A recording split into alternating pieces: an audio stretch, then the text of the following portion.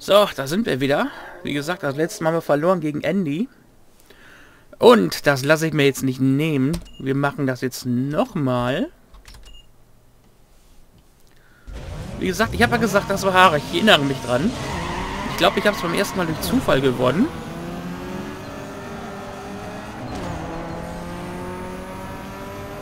Okay, wir hatten noch damals Bobby gehabt. Und wir haben auch vorhin die, wir haben auch die Abkürzung genommen, was wir jetzt nicht gemacht hatten in der letzten Runde.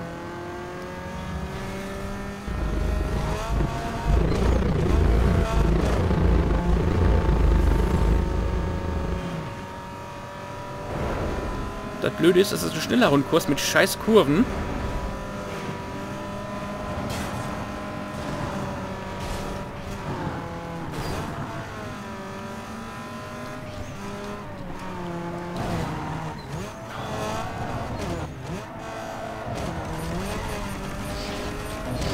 Zwei Sekunden weg, der erste.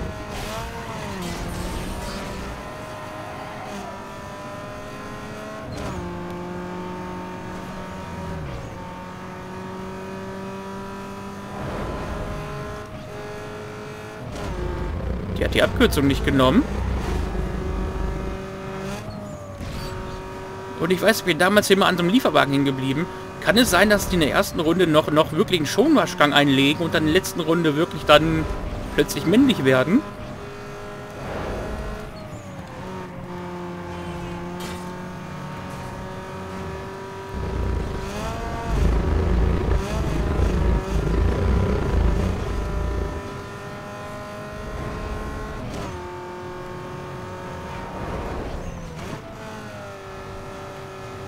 Ich weiß es nicht.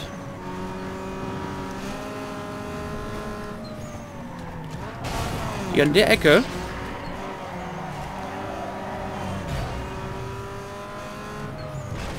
Ah, da habe ich Glück gehabt, Herr sonst hätte ich den Verkehr geküsst. Den habe ich gerammt.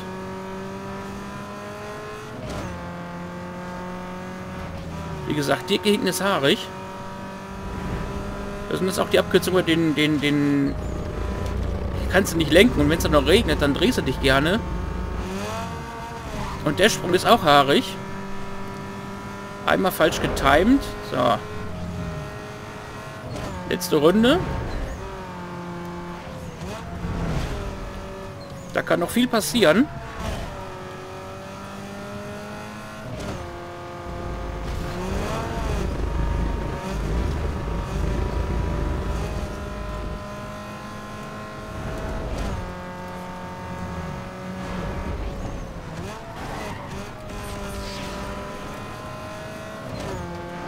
So, und auf der Höhe werden wir, werden wir mal eingeholt. Ah, das war's schon.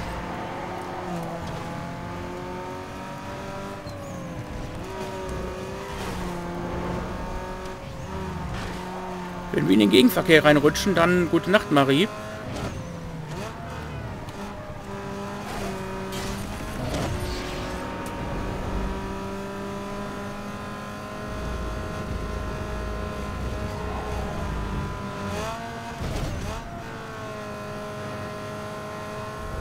Ja!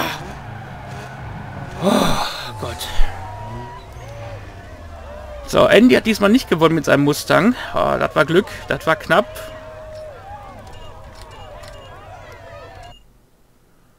Das war ein schneller Rundkurs. Hey, wir haben es freigeschaltet. Das Swiss Tuner Magazine treibt sich heute Abend hier rum. Wenn du es drauf anlegst. Das Swiss Tuner Magazin. Und wenn wir noch diesen Spezialevent, das lasse ich mir wirklich zum Schluss. Kommst du auf die nächste Titelseite? Na gut, das haben wir vor. Weil ich möchte noch gucken, ob man ein paar Leistungsupgrades bekommt für den Kleinen.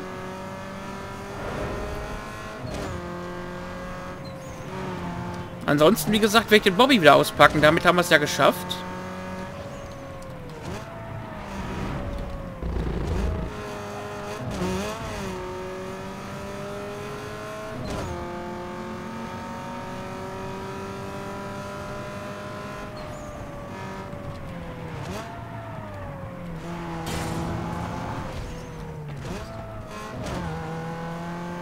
Ist das jetzt das Foto, das ist ein Rennen? Das weiß ich jetzt schon nicht mehr.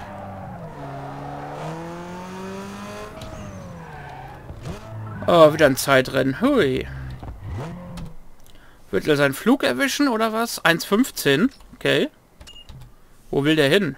Ah, das ist auch wieder so was Knappes.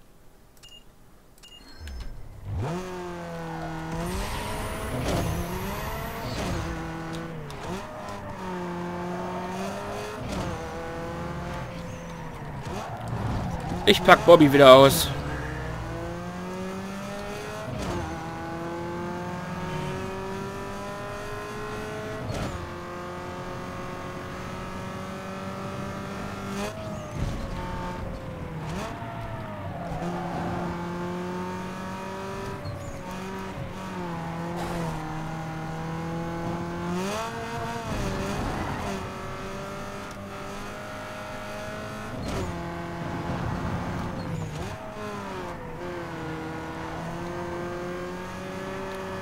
Aber schaffbar. Nicht so knapp wie das andere Event in äh, Cole Harbor.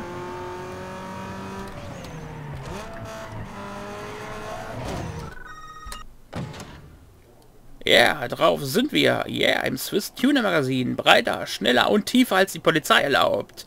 Gib Stoff, Baby. Burnout-Syndrom. Warum Gummis rauchen müssen. Yeah.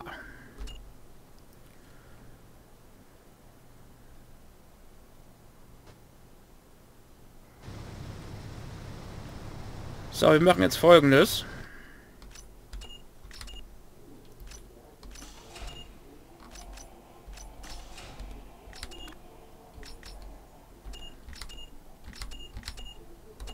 Wir werden jetzt Bobby tun. Ich hab's. Ich, ich, ich bin dafür.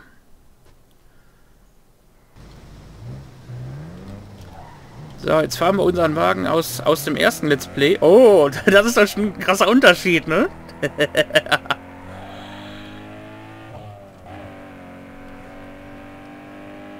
Ein ungetuntes TÜV-TÜV, ohne, ohne Nitro, ohne alles.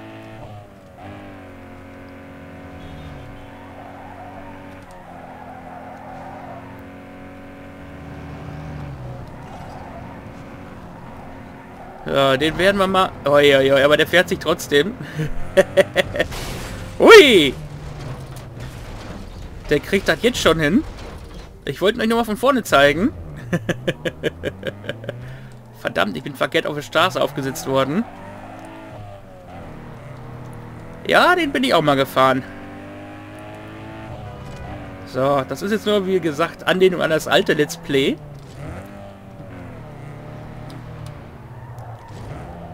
So.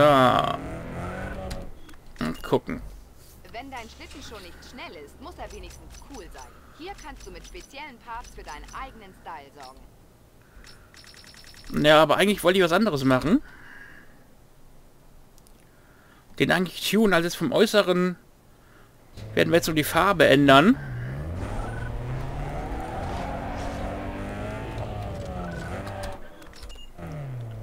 Hey, die Leute haben langweilige Kit. Die Kunst ist, aus deinem Wagen etwas Besonderes zu machen. Das gelingt dir bestimmt mit einer neuen Lackierung.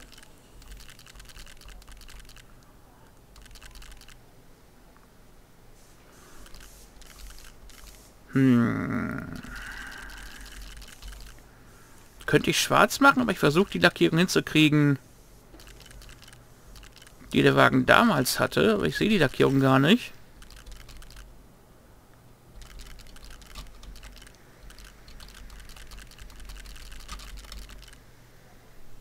Äh, ein bisschen röter. Kriege ich gerade nicht hin. Na komm, weißt du was? Ich habe den auch mal in Blau gehabt. Also wie gesagt, damals der Bobby, der war so mehr so orange, so rot-orange so, aber den habe ich auch mal in Blau gehabt, den kleinen davor. Den habe ich ja zweimal gehabt, einen 106er.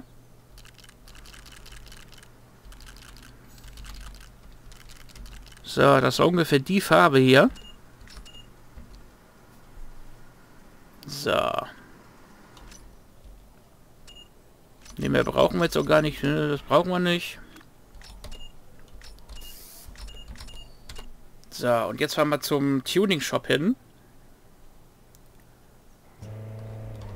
Na.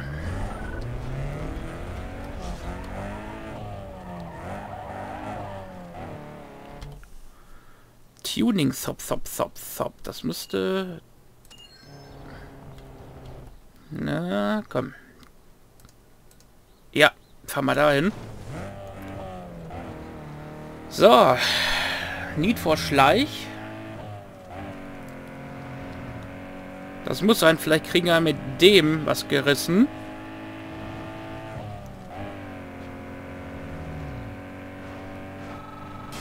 Hey Kumpel, hab gehört, dass am Flughafen richtig was los sein wird. Den genauen Ort habe ich noch nicht ausgemacht, aber du müsstest die Typen ohne Probleme finden können. Wirst wohl leichtes Spiel haben. Vielleicht willst du ja mitmachen. Viel Glück, Mann. Ich bin raus. Genau, und den blauen Peugeot 106 hatte ich als Viertürer gehabt zuerst. Ja, wie gesagt, also mein erster Wagen war eigentlich ein roter Ford Fiesta Typ 2. Danach hatte ich einen Fiesta 3. Weiß gar nicht, 1,2 oder so S. Also die Sportversion des Fiestas in schwarz. das war mein Schweiz, äh, zweiter Wagen gewesen. Und der dritte Wagen war auch ein Fiesta, ein silberner. Das war dann Baujahr... Was war das? 96? Fiesta 96 Facelift, Baujahr 2000. Zugelassen am 25. Februar 2000. Ja, und nachdem kam dann der blaue Peugeot nach dem silbernen Fiesta, so ungefähr im Jahre 2008. Und nachdem hatte ich dann den alten äh, 206er, 106er meine ich. Und danach habe ich dann den 106er von meiner Freundin gefahren, den roten, den Bobby. Dann einen silbernen 206er, deswegen fahren wir jetzt auch 206. Und ich fahre jetzt wieder Fiesta. Pferdestärken bedeuten Speed, also tune deinen Motor so gut du kannst. Und genau hier ist der richtige Ort dafür. Kann ich jetzt schon... Ne, man muss alle drei installieren, okay.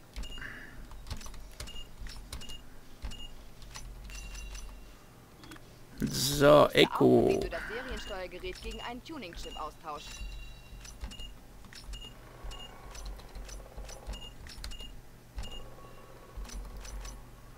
So, haben wir alles Getriebe.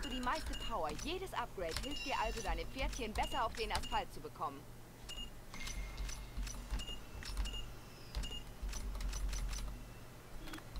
Tausch das Serienfahrwerk gegen ein härteres Sportfahrwerk mit mehr Grip. Ich sage jetzt mal nichts, weil die gute Rachel uns da uns reinquatscht. Nitro ist das Glycerin der Rennsportwelt. Bau dir eine Nitro-Einspritzung ein und dein Motor hat extra Power, wenn du sie brauchst.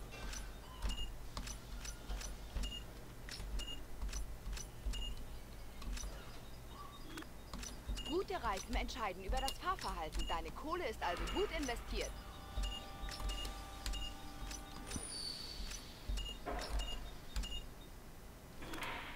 Denk dran, mit besseren Bremsen verkürzt du deinen Bremsweg.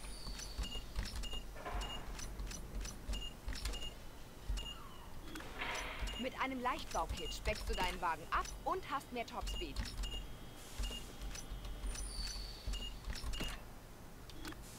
Erhöhe die Leistung deines Motors und bau dir einen Turbo ein.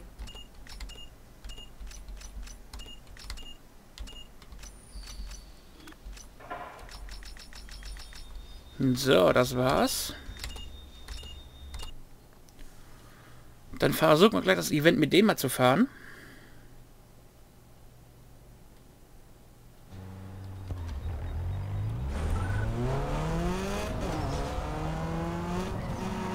Ja, ein krasser Unterschied.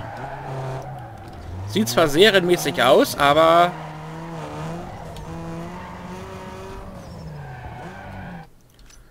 Wir müssen noch mal eben... Ich glaube, wir müssen den Escalade noch aufrüsten.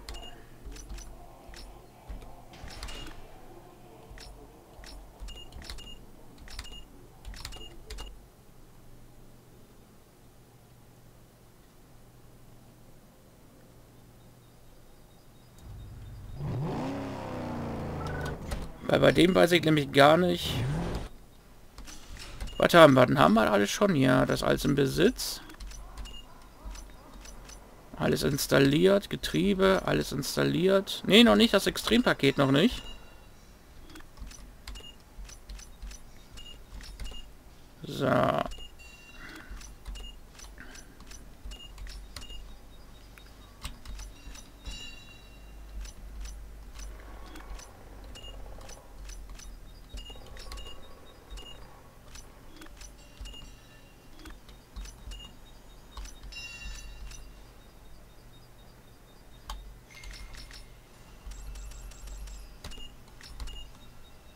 So, da müssen wir ein bisschen Geld eintreiben.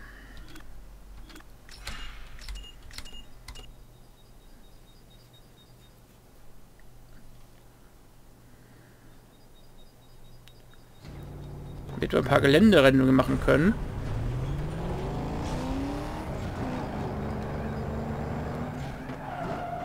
So, ein bisschen Burnout. Aber wir wechseln den Wagen mal wieder.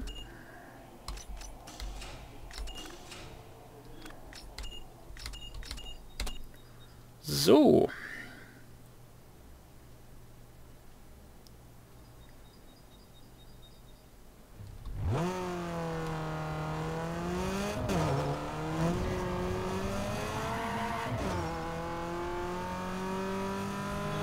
Gehen wir gleich mit dem an den Start, wa?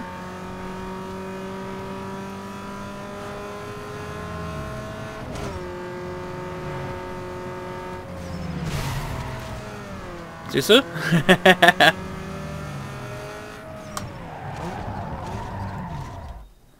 ich würde mich sogar totlachen, wenn das Event mit den schaffen würden. Komm, wir fahren jetzt mal mit Bobby einen Rundkurs. Den müssen wir mal warm fahren.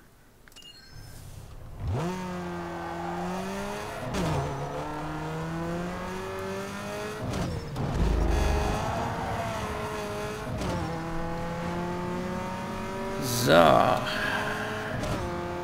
Jetzt fahren wir 200, äh, jetzt fahren wir 106er wie im ersten Let's Play.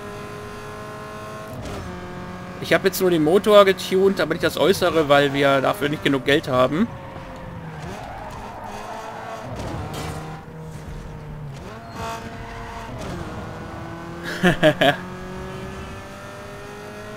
Somit fahren wir mal einen zweiten Wagen.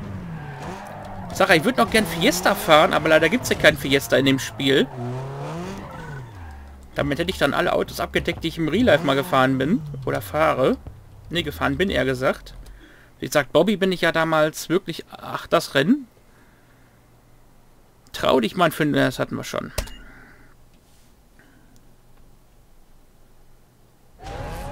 mal gucken. Unser Serie 200, äh, 106er. Die lachen sich doch schlapp immer. Die bleiben vor Lachen an der Ziellinie stehen. Aber das ist Absicht.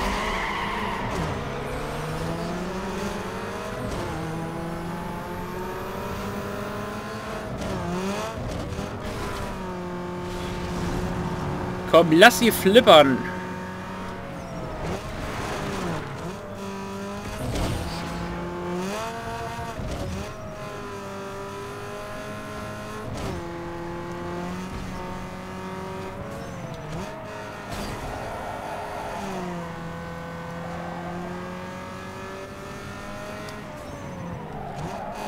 Zwei Runden nur.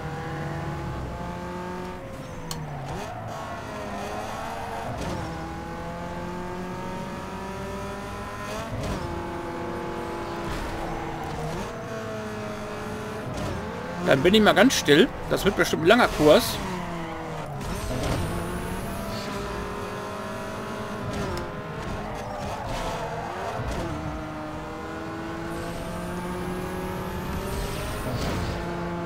Alter, der zieht sich mit, wenn ich nosse.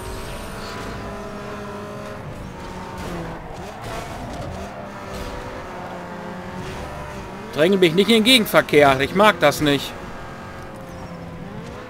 Da klebt doch einer an mir wie ein Magnet. Oh, die Aussicht. Oh, die Aussicht.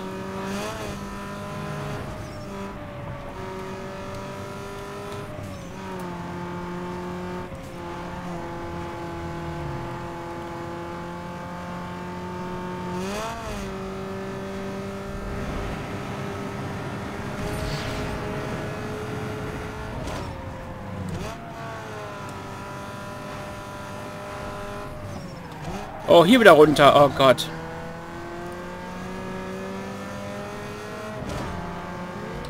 An diese Strecke habe ich äh, gute Erinnerungen vom letzten Mal, wo wir hier lang gefahren sind. Noch in diesem Let's Play war das.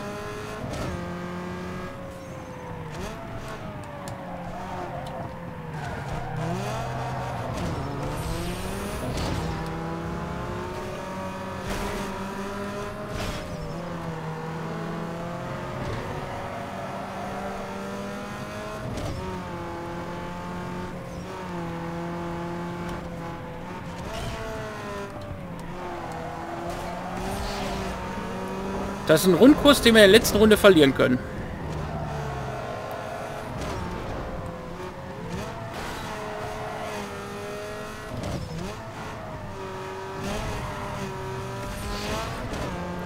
Wir sind das die Ecke hier.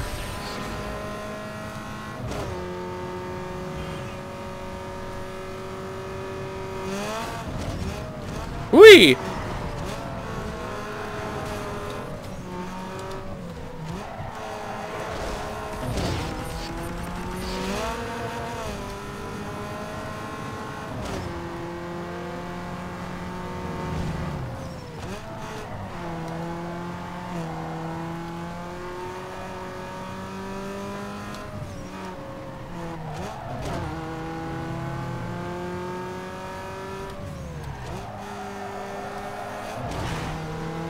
Oh, lass mal Hinterteil in Ruhe.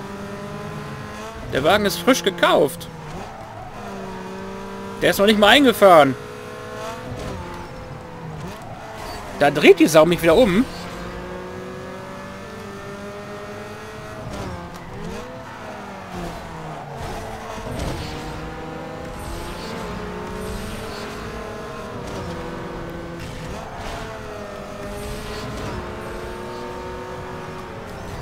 Hier geht es echt um Millimeterarbeit.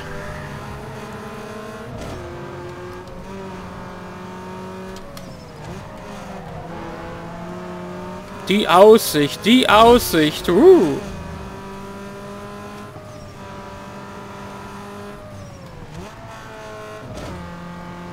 Aber die Aussicht im Rückspiegel ist auch äh, nicht so rosig. Äh, also nicht rosiger als runter. Weil die hängen uns dicht im Nacken.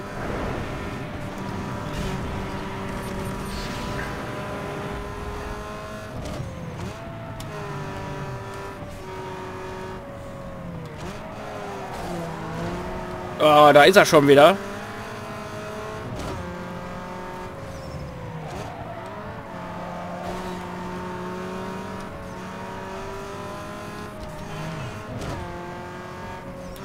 Habe ich schon mal die Aussicht hier oben erwähnt?